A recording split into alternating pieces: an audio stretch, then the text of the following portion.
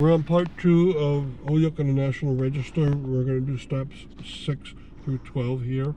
This is the Holyoke Post Office, made in the 1930s. Inside is a beautiful mural on the western wall. And the reason why it's a National Register is because the Art Deco, Deco look to the outside of it. it. It's considered very beautiful for most post offices. And we're going now to Veterans Park, which has has Hampden Park, the historic name of it. It's also in the National Register. You can see they're very close together. And this is this is a, one of the five districts that's on the National Register in Holyoke. Now, it's not only just a park, of course.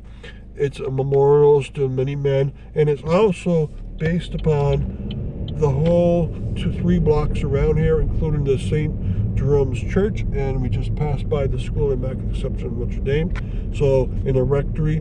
So we're just going through this district, and if you look to our left, we have the St. Jerome's Church. So it's a big district that's on the National Register of Historic Places, and it's definitely the most worthy of all because it's quite beautiful those three blocks. And it was very happily saved as it was turned into housing, which saved the school and the convents, two convents, and that is good. Now we're going to go up to on Maple Street, going up the top of High Street. Five blocks of High Street are in the National Register also, and those five blocks definitely deserve it. The reason why is that they have a very unique architectural style to them. They were submitted as entries to the National Register in two pieces.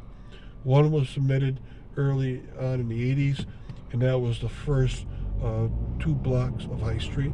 And then the next three blocks of High Street, going from north to south, was submitted, and it was, it was received onto the National Register. It includes pieces on the side streets and one piece is seen right here and includes the Congregational Church, historically called the Second Congregational, now called United Congregational. And it has a Skinner Chapel attached to its uh, southern side. And so that is the start of the High Street Historic District, even though only its back is on High Street. And so you can see the back now. Now you can see across the way. There's beautiful buildings on, on that side. There used to be the volleyball birthplace on my left. Now it's gone now. And you can see on both the left and the right, all of High Street from now on uh, up to the end of it is on a National Register. And it was placed on there because it was a very unique architectural styles. Most of the buildings, if they look new, are really old with a new facade. If they look old, then they probably from the 1880s or 1890s. And what we're going to come up very quickly is Holyoke City Hall, which separately is on the National Register has one entry, and then collectively is on the North High Street National Register as an entry. Now, it's on your right hand side. It's a very large, beautiful building. And then on the left is you can another entry on the National Register, which is separately on the National Register. That's the Caledonia building. It's on the left, has about half block up from us. And it's also collectively on the National Register as part of the North High Street District. All right, so this street has one district and two sub-entities separately on the National Register.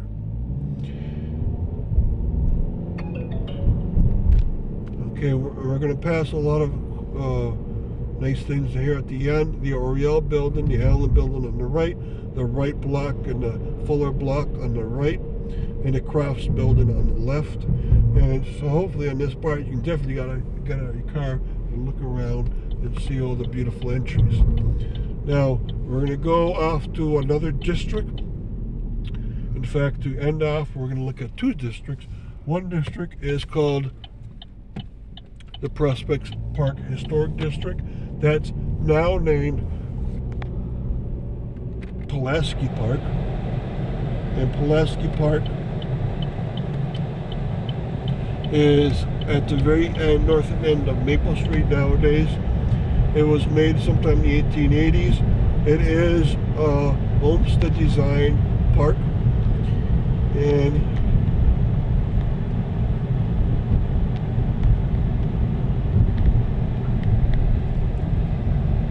you can see it borders the canal on the right. And then towards the middle, it's with the turbines in the Connecticut River. And then the upper part goes towards where there's a uh, honor to Pulaski himself. So this park is on the National Register because of who designed it and how well maintained it is.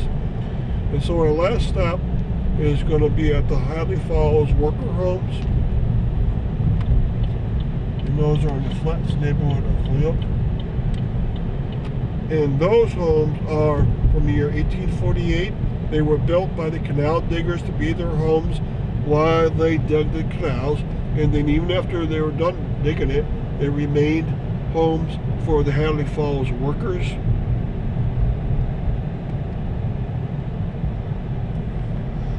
And very near there is another entry I wish were put onto the National Register. That's the Richardsonian train station. It's being improved inside and out, so maybe someday it will be placed on there. And this is honorary designation in most cases. Only in a couple cases does it have any restrictions, and that's because they accepted money from the federal government. It's called uh, historical restrictions, and that means they cannot make changes without telling the federal government.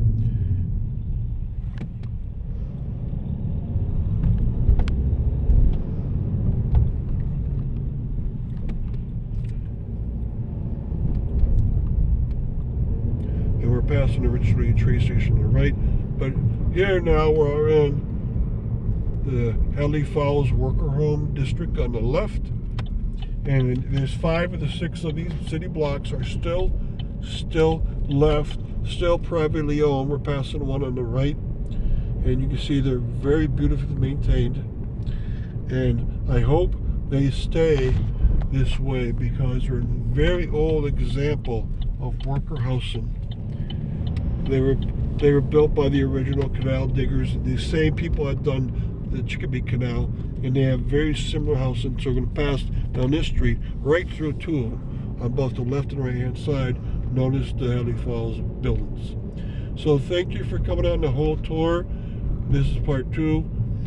If you didn't catch part one, I hope you catch it at some point.